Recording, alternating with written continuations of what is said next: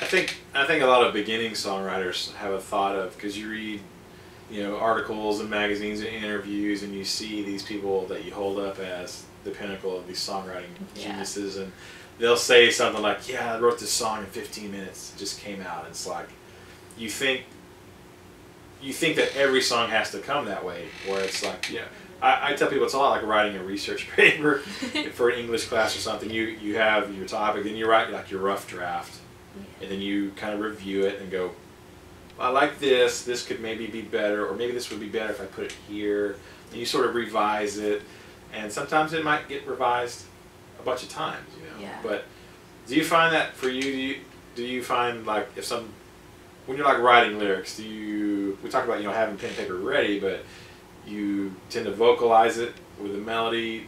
Do you sort of like stream of conscious just think, okay, I'm gonna write a song about you know chicken nuggets, and then you just start singing about chicken nuggets, or you know, is it sort of It, it may you be. Um, you know, if I was singing a song about chicken nuggets, you know, I could be talking about ah, at first how great chicken nuggets are.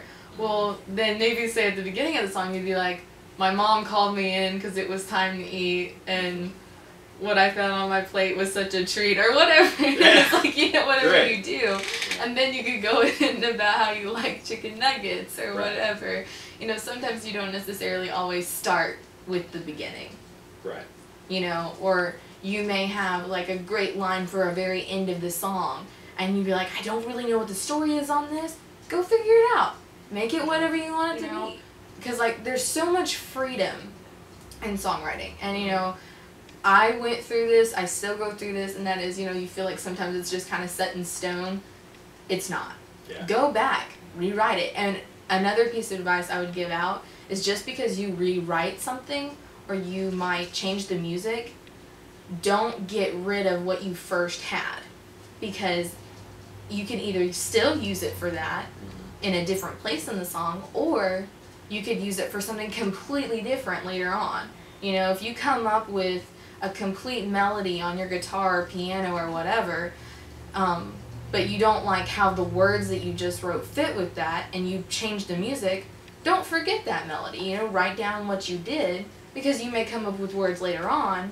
Yeah, because that original melody that you got that doesn't fit what you're working on right now Yeah, doesn't yeah. mean it won't fit, Fit something for something else later. That's good. So don't throw away. You may not use Yeah. everything, but don't throw everything away. Right. You may not use everything, but don't throw everything away. Don't be wasteful. So Right. with, with your Let's talk about some helpful songwriting tools. Obviously, pen and paper are great. I, Mm-hmm. I find for myself, if you have a way to record yourself, that's great. that's- Um, with the advent of technology and like we're using just a digital camcorder right now, I think that's an awesome tool if you have access. But a lot of people have, like, who doesn't have a, an iPhone or a smartphone? right. Now, most of them have like little voice memos. Like if you're in the car and maybe you read a phrase or somebody says something, you know, if you have a phone, you can just voice memo and Yeah. then you have it because you know you might go to sleep and the next day you're like, what what was that brilliant song? idea I had Yeah. yesterday? and that's happened to me before. I make that mistake as a songwriter. I confess that right now. You know, always have something you can record with. Even if your phone is full of memory, go empty it on your computer and make it to where you can continue recording. Whether that's you just see a saying, you know, maybe spray painted on a wall somewhere. You know, Mhm. wherever. Inspiration is everywhere if you're willing to look. Yeah. And so, you know, make a note in your phone. Record something. Whether it's a melody that comes into your head from seeing that or it's words that come with that, Mhm. whatever. Um, recording is definitely a really good idea because I've seriously sat down at the keyboard, been playing something, could tell you the chords but can't remember the melody at all in my head. And that's such a mistake because, like I said, you don't want to throw anything away. And if you forget it, you basically just threw it away, you know? Yeah. so you don't want to do that. So definitely have something you can record with. Have pen and paper. I know that that may seem kind of old fashioned. They're like, well, if I can make a note in my phone, okay, you drop your phone in water, you just lost everything. so or your hard drive is deleted on your computer. yeah. It happens. so definitely have pen and paper, you know, because because even with that you can erase or don't don't erase, but you know you can Right. can continue Flip to the next yeah. page Yeah. and go for it. Um, I, I, that's interesting. You said melody. I find being kind of a, an instrumentalist first, like I can usually remember chord progressions, or I can write that down pretty quickly. But then like melodies, sometimes. Well, it depends. For me, because I'm not a vocalist primarily, like that's like sort of the least in my skill set. And but I found like having a, the iPhone, like oh, I came with a melody that fit this thing, and I could shoot a video real quick. Of course, it's a little embarrassing to look back and go, okay, I, I know what I was I know what I was thinking when I said that. But I, I find that melodies sometimes are harder for me to remember. Um, do you find that easier? Is it remembering chord progressions or remembering the? Um, if you have the words, does the melody kind of attach itself to the words for you? Yeah, melody really does attach it to the words because if you can remember the words, then you'll kind of remember how the melody flows. And if you think about it, you know, when you listen to music, what's the thing that really you remember? You remember the chorus because that's where the catchiest part of the melody is. Mhm. You know, and there's like some saying that says if you show it to me, I'll remember it for a day, but if you sing it to me, I'll remember it forever or Mhm. whatever. It's really true because music just gets into you. So if you can remember the melody, typically, or for me anyway, I'll remember the words. But it's harder, you know, if I went and just picked up my guitar and just started playing and I wrote all these words but didn't write the chords down, I may be like, okay, I remember this melody, so now I'm gonna have to sit down and Mhm. figure it all out again, what I did, which can be frustrating. So even if you don't have the time, make the time Right. to write down what you did so that you don't lose it. So I have some tools. So that's a good tip. Have a tool of some kind, either just pen and paper, or your phone, or if you have a video camera, that I find that that works Mm-hmm. phenomenal uh, Yeah. for that kind of stuff. But if you don't have a phone or a camera, you surely you can find pen and paper. You know, Pretty cheap. ha- have something to capture your ideas with. Yeah. basically. Great. Truly. Um, Something else I was gonna say, right quick. Sure. Um, you know, as we were going back and we were thinking, you know, don't feel like you, like whatever you write is set in stone.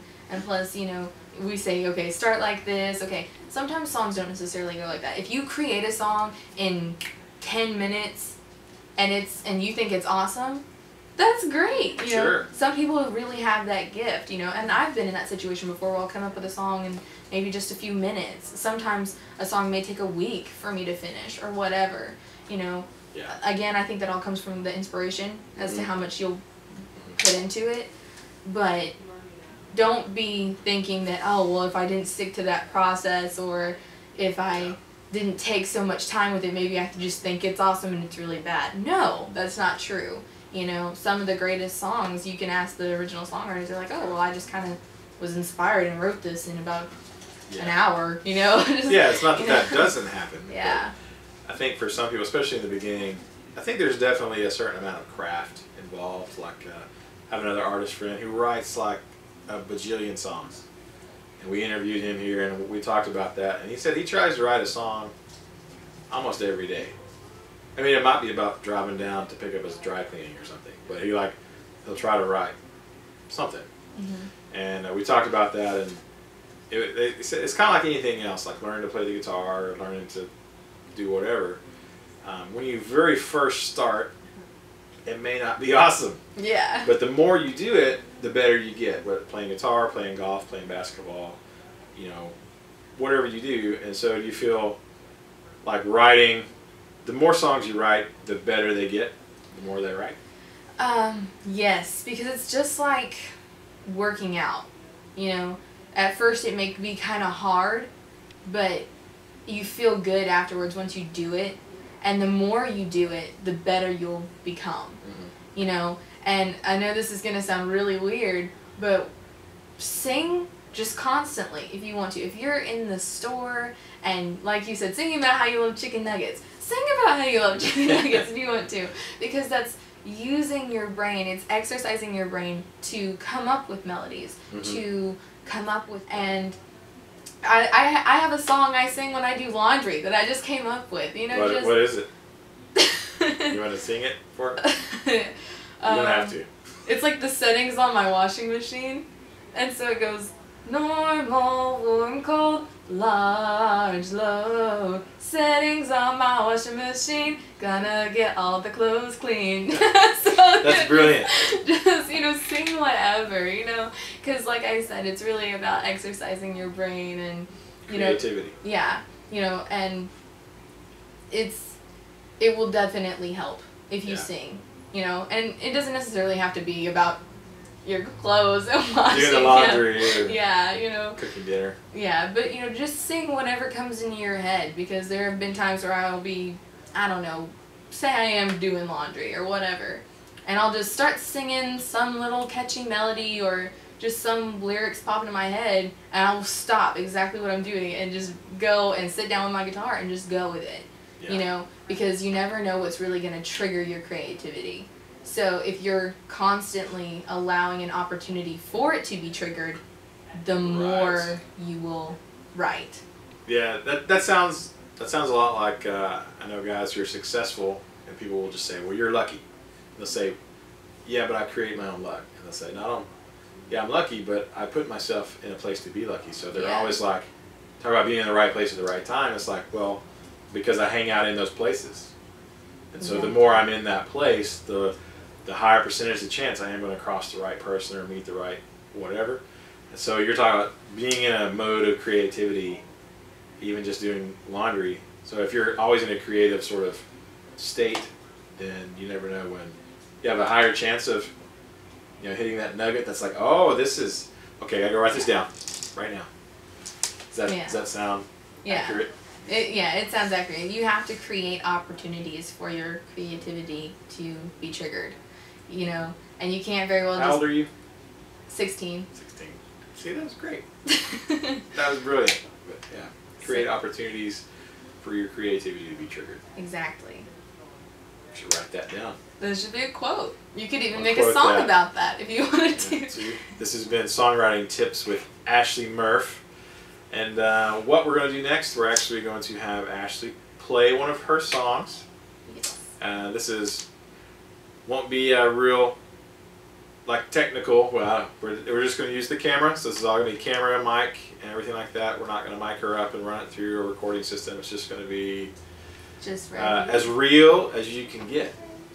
That's Yeah. great. Just like if you're going to come to the coffee shop and listen to Ashley play and sing, this is what you're going to get.